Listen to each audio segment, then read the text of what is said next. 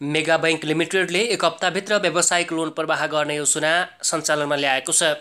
बैङ्कले आफ्नो स्थापनाको आठौँ वार्षिकोत्सवको अवसर पारेर सोमबार काठमाडौँमा आयोजित कार्यक्रमका बीच व्यावसायिक लोन प्रवाहको काम हप्ता दिनभित्र सम्पन्न गर्ने विशेष योजना सञ्चालनमा ल्याएको हो।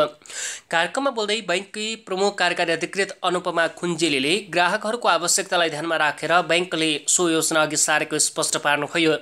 उहाँले आवेदन दिएको चौबिस घन्टाभित्र लोन पाउने नपाउने ग्राहकलाई जानकारी दिने व्यवस्था पनि गरिने घोषणा गर्नुभयो।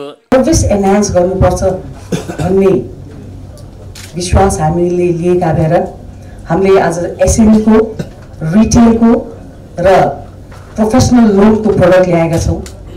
यसको मुख्य फिचर भनेको ट्वेन्टी फोर सेभेन विधिले यो अगाडि बढेको छ।